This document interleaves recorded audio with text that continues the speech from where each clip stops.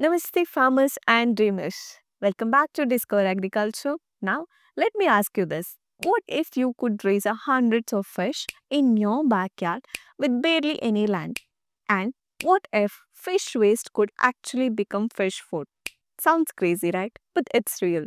And it's called Tilapia Biofloc Farming, the ultimate jugaad for modern fish farming. So grab a notebook or maybe a cup of chai and let's build your very own mini fish empire step by step. Why tilapia? Why biofloc? Let's decode it. Picture this. A fish that grows fast, eats almost anything and doesn't mind living close to its neighbors. Yep, it's tilapia. Why tilapia rules biofloc? Fast growth equals faster profits. Thrives in tight tanks, handles water changes like a champ. And hey, people love eating it. Restaurants, dhabas, even home cooks. Tell us in the comments what's your favorite dish, fish curry or fish fry. Setting up your tank. No farm, no problem. You don't need a water, just a circle of genius. A 5000 to 10,000 liter water tank. Here's your fish farming toolkit. Tank, circular ones works best. Less stress for fish, easier flow. Aerators, these keep the oxygen pumping and the floc floating. No bubbles, no biofloc. Biofloc starter pack. Add probiotics and a carbon like molasses or jaggery.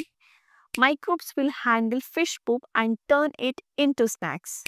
Keep these water starts in check, pH around 7 to 8, oxygen always greater than 5 mg per liter, ammonia, keep it low and slow. Hot tip, if your tank smells like rotten eggs, that's a sign something's off. Act fast. Stocking your superstars or fingerlings. Time to add your tiny champions. For every 1000 liters, go for 500 to 600 fingerlings. That's your sweet spot for growth and survival. Buy from a trusted hatchery let them settle into tank water slowly. Don't toss them in like popcorn. Be gentle. How many fish would you start with? 200, 500 or go big with 1000? Terrace below. Floc power. Feeding less, growing more. Here's the magic. Biofloc turns waste into wealth.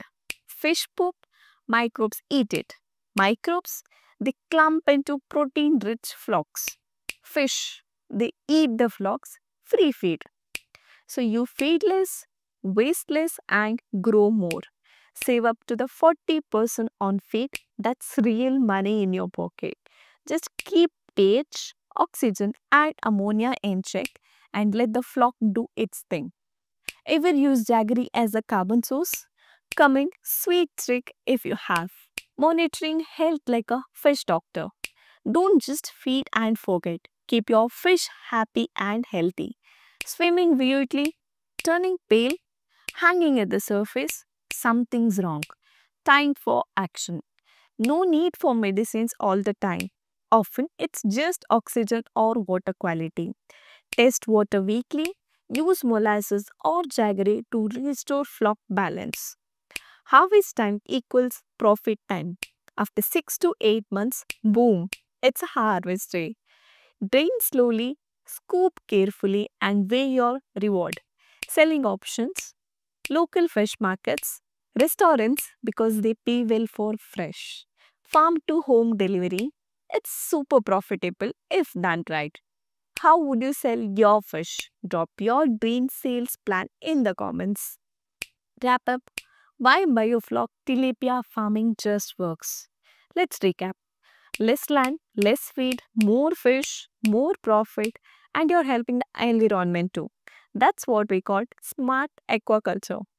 Smash that like button if you learned something new. Subscribe to Discover Agriculture for more down-to-earth farming wisdom and also share this video with someone who's ready to start their own fish farm. Until next time, stay green, stay smart and happy farming.